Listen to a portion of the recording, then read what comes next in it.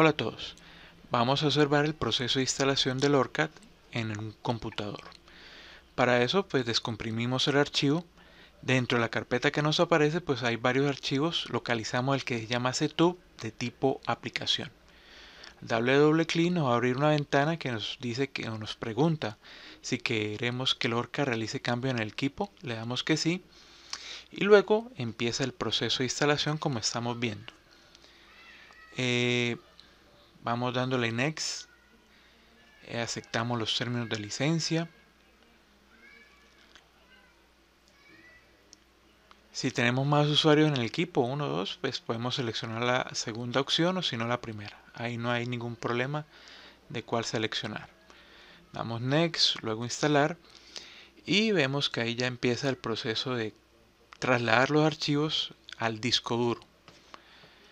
Eh, ahí empieza la barra de progreso esa se va a ir llenando, ya cuando se llene pues ha terminado la instalación del software. De resaltar que esta es una versión light del ORCAD.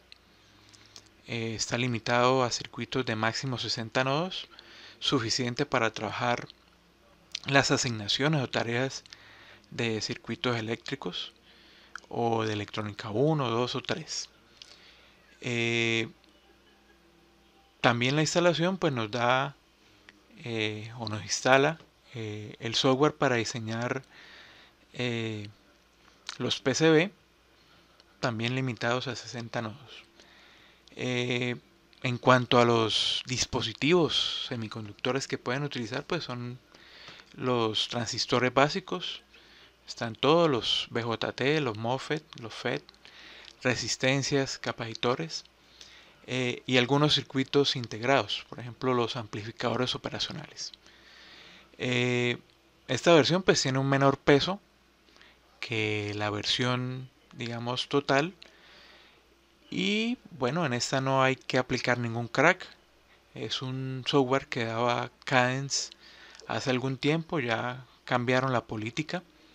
Ahora hay que llenar un formulario y esperar que eh, haya una autorización para que nos den el software, en este caso el Light. Eh, el proceso es un poco demorado dependiendo del computador en que lo estés utilizando. Entonces por eso voy a saltar, voy a cortar aquí el video y voy a saltar hasta la parte final donde se, ya se termina la instalación.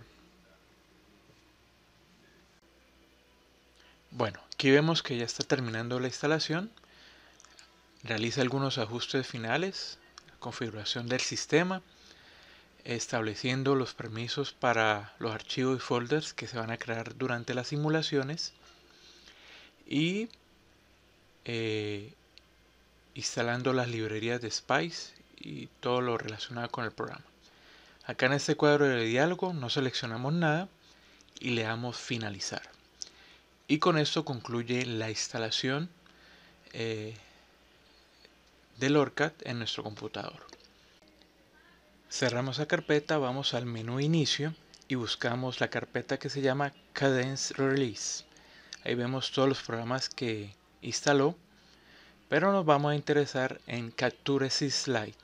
Le damos clic derecho, le damos en más, abrir ubicación del archivo, vamos a copiar ese acceso directo y lo vamos a pegar en el escritorio. Ese acceso directo pues nos va a permitir entrar a la parte del ORCA que realiza el diseño y simulación de circuitos y el que, se más, el que más se va a utilizar. Le damos doble clic y se empieza a cargar el programa. En esa ventana inicial pues empieza a cargar todos los componentes eh, que va a utilizar el ORCAD. Eh, observamos cómo va, va cargando cada uno de los ejecutables y cuando aparece la palabra ready en la parte inferior es que ya está listo para trabajar. Para crear nuestra primera simulación vamos a File, Nuevo Proyecto Aquí se le define un nombre, una locación. Para simular debemos seleccionar PSpice Analog Eh, le definimos un nombre, el que ustedes deseen. Eh, en la simulación se crean varios archivos, entonces vamos a crear una carpeta en cualquier lugar de su computador donde se van a almacenar esos archivos. O sea, cada simulación crea alrededor de 5 o 6 archivos. Entonces, para tenerlos agrupados eh, y compartirlos, por ejemplo, a otro compañero o a un profesor, pues creamos esa carpeta. Le damos OK. Crear un proyecto en blanco. Damos OK. Y ahí nos va a aparecer el área de trabajo. Eh, dando clic en este botón eh, ahí podemos seleccionar los dispositivos. En este momento no hay ninguno, entonces procedemos a cargarlos. Entonces para eso damos eh, clic en esta parte y empezamos a seleccionar todos los archivos. Ahí lo que estamos haciendo es cargar eh, los diferentes fabricantes. Cada fabricante pues tiene una línea de, por ejemplo, de transistores, de circuitos integrados. Ahí vemos que se cargó. Podemos buscar, por ejemplo, un transistor BJT. Ahí nos aparece. Podemos seleccionar cualquiera, el que deseemos. Eh, y le damos clic.